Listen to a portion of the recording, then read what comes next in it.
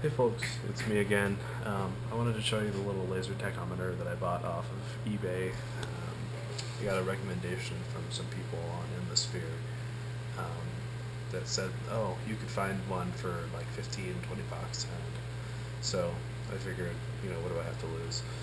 So um, I wanted to show you the little laser tachometer. And here it is. The box came in. I put the battery in already. It's a little 9 volt doohickey.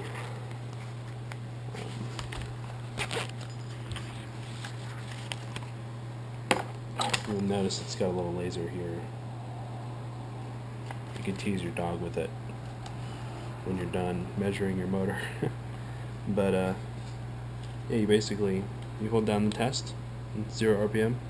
You take one of these little reflective strips, cut it off, and attach it to whatever is spinning you want to measure. And then I'm going to wave it around.